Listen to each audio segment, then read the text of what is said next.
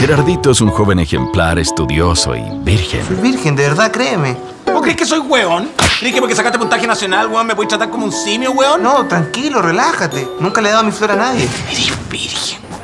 Bueno, la propuesta de Mamá ya crecí es una propuesta bastante simple, es una comedia romántica, eh, ideal para ir a ver el Día de los Enamorados, de hecho se estrena el 13 de febrero en todos los cines del país y eh, busca entretener en este verano a las parejas, a todo el público que quiera ir a entretenerse al cine, a ver una comedia liviana, romántica, sin ninguna otra misión que, como ya dije, entretener. María, no cualquiera se llama Ana María. Tu hermano te va a llevar en un radiotaxi. Voy a llamar inmediatamente a la de esa, ¿sí? El de Vitacura es más rápido. Ya no es lo mismo de antes, Vitacura. Fíjate que desde que pusieron ese metro en Manquehue, como que se ha llenado de gente negrita, ¿no?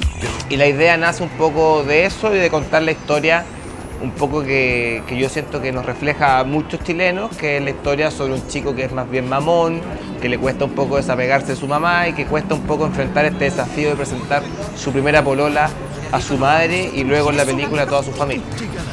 Eso es básicamente de la película. ¿Y qué es el comercial? De esto. ¿Calzón vibrador? Pero la caja está vacía. Sí, pues es que lo tengo puesto. Los modelos de comerciales no usan calzones con vibrador. Eh, la película está 100% basado en nuestra relación con ella. De hecho, el personaje se llama igual que mi mamá, habla igual que mi mamá, se viste igual que mi mamá y dice las cosas que dice mi mamá.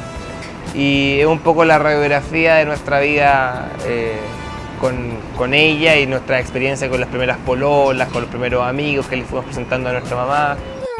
Eh, yo siento que la evolución de las dos películas ha sido notoriamente positiva, tanto en calidad como en espectadores en, cuanto a la taquilla. La primera película, Limpia Piscina, hizo 40.000 espectadores, la segunda hizo 80.000, Babysitter. Y buscamos que, que, pase lo mismo con Mamá Ya Crecí. Queremos ir ampliando nuestro público, que el público que vio las primeras dos películas y les gustaron, vayan a ver esta. Y los que no la hayan visto, por lo menos en el cine, vayan a verla para que den una oportunidad a un producto que, que busca entretención tal como lo hacen las películas gringas o de otros países, pero acá en, en nuestro país. Mi amor, no prefiero ¡Mamá! ¿Esto qué? Pero mamá sale, mamá.